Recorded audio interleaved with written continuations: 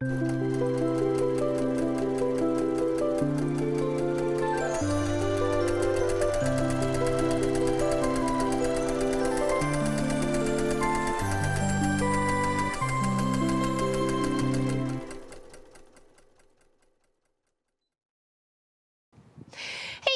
Welcome to Long Arm Wednesday. I'm Laura Lynn of the Mom and Pop Quilt Shop, and we're very happy to see you here today. Today, I have a very stunningly beautiful quilt on the long arm. Walt is very pleased to have this quilt here. It is, I'm calling it four borders and more, because it's got lots of borders, but it really suits the quilt. Uh, there is a rose and um, um, succulents, uh, panel in the center and I will put Walt over there so you can see a little bit of the leaves and I did a rose stitch out. I'll try and make sure that the thumbnail of this uh, video you could really actually see um, the, the center panel there because it's quite gorgeous. So I stitched four roses out on it with leaves and everything else. It looks very beautiful. So um, this border right here I took as one and I put a swirl and feather in there. The thin, uh, well not thin, but the, the striped green one here, I put leaves, same on the other side, obviously. And we're gonna work on this one right here. It was such a beautiful mitered corner. Like, check this out. Well done, Ruth. R Ruth is from, um, Thunder Bay, Ontario, and she sent me her quilt to work on, and she said I can pretty much do what I wanted and use whatever thread I wanted. So I chose mint, and I think it looks really nice. It pops up in lots of spots, and it brings out the other kind of tones of green in the quilt projects. But I just really wanted to show you this beautiful, all, all the corners, but this we're just checking out this one right now, uh, of, of the mitered corner. Isn't it beautiful? And so in this case, I took this as a whole border itself right here, from here to here, all the way to this end. So all the way down. So we're gonna do the same what we did in here. I've just kind of echoed it outwards because I just thought it looked so pretty. And we're gonna get Walt to finish it up. He's gonna work away. And then I have the leaves, again, that are gonna stitch out here. They'll just be a little bit bigger. Okay, and he's gonna continue working on, let me just turn it down just a little bit. He's going to continue working on the stitch out pattern that's the opposite side. So it looks like the border is continuing going around the quilt as one, one whole unit.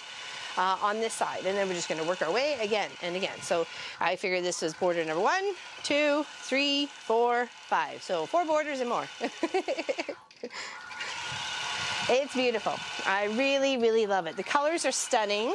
Um, because the backing matches, I believe it, it, was a kit. I'm not sure. Maybe she'll leave a comment uh, and uh, she can fill us in on a little 411 about this whole project. It's a good size. It's 90 by about 70, 72-ish, something like that. And I chose uh, the white uh, cotton. I just thought it would be would be pretty. So. Lovely. Beautiful mitered corners. Well done, Ruth. I, um, yes, oh, sorry, Ruby. Well done, Ruby. I apologize. Well done, Miss Ruby. Lovely, lovely, lovely. So I don't know if she bought this kit uh, online or uh, something she put together herself. Um, it's just, it's so, so beautiful. Like it really is. Um, it's a, a, a, lovely kit that's, uh, or lovely, um, the whole, the whole quilt is just stunning. So. And I did have pink thread on it. I had a purple, I had a white, I had another green, and uh, this one just kind of called out. I think it's, uh, it suits it, so hopefully you guys agree. Leave your comments below if you don't, or do.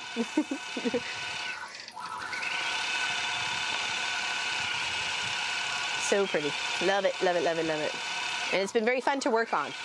So been sectioning it out, doing the uh, borders in the corners and each one, and you know, setting the setting the lengths of them and the widths of them, so on, so on and so forth. It's been it's been a fun project. The whole cloth is going to take a little longer, so it's got to come off and then come back on and come back on, and so it's that's just what's going to happen. That's a lot of clicking out, but the progress will be made. I promise. My customer has seen pictures and she loves it. She wants me to continue. I just I left it up to her, so and she's she's quite happy. Love that thread. Beautiful, beautiful thread.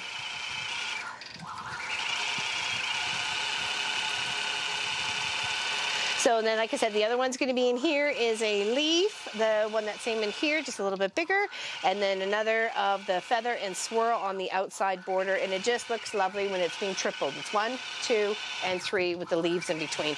It just goes really well with this quilt. I think it looks stunning. I've sent her some pictures. She likes it so far of this one right here. So, and uh, the rest will have to be a surprise. I'm sure she's watching.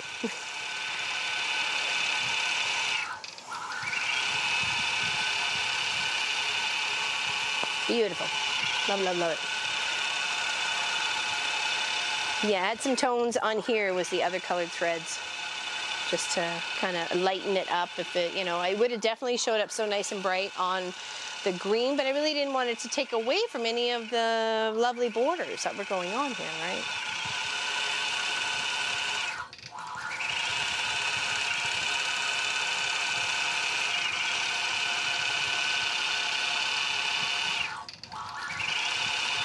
I like all the little succulents.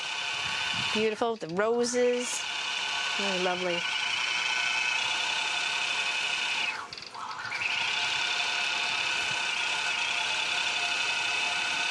Growing up in a flower shop, I, I, I really do appreciate lovely flowers.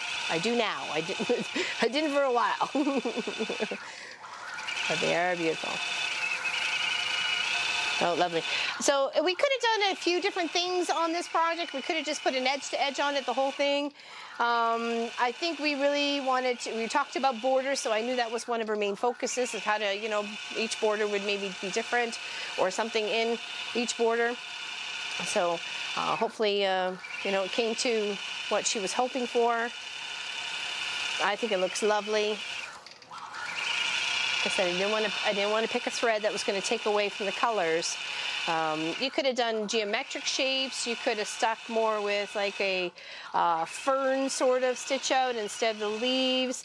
Um, I just, to me, this kind of sort of leaf shape is very universal. It goes to a lot of plants. It has the same like shape, the point to point, the rounded middle. And I just love a good feather and swirl when it comes to a nice flowery border. Just looks so pretty. And then with the pretty little thread to pop it. It's very nice. So we only have a couple more after this one's done. And then I got to work on the center sections. So what I do is I've rolled it so it's on the one side, roll it to this side so I can work on the border as one whole unit, as the, the curvature of the up, uh, the X and the Y of going around and then I'll roll it back to where it goes to the center and work those spots because it'll go to so far and so far and then I'll have to work the spots in between. But if I set my borders up correctly, it should be stitching the right size. I just have to make the pieces to fit and just kind of tweak them just a little bit. It'll be a-okay. So I'll have to do that on each side. No problem. Very nice. Love it, love it, love it It's my favorite. That's my favorite rose right there. And then over here on this border, there's a dark one, like a dark burgundy kind of color. I think that's beautiful. Absolutely beautiful.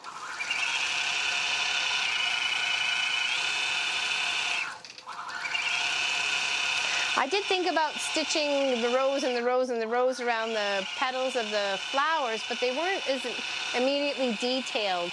And um, I just thought that might be a little bit so busy for that center. Let's just kind of put a nice couple big roses in there and, and, and just let it go because the borders are really kind of busy themselves.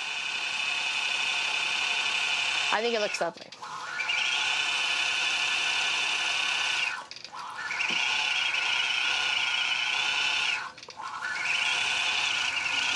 And it feels so good. Like it's it's a good fabric. And the stitch out is pretty, it feels nice.